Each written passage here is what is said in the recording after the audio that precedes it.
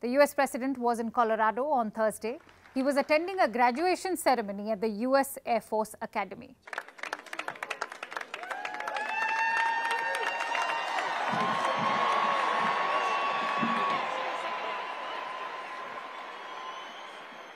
There was a sandbag next to Biden.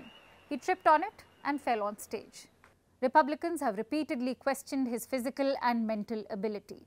They say he is unfit for office.